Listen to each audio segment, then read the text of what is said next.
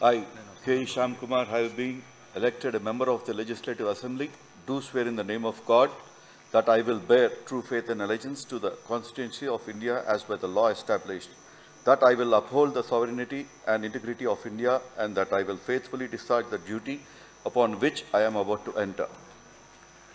I, K. Shyam Kumar, member of Andhra Pradesh Legislative Assembly, swear in the name of God that I shall abide by the abide by and follow the rules, observe the etiquette, and respect the conventions of the House.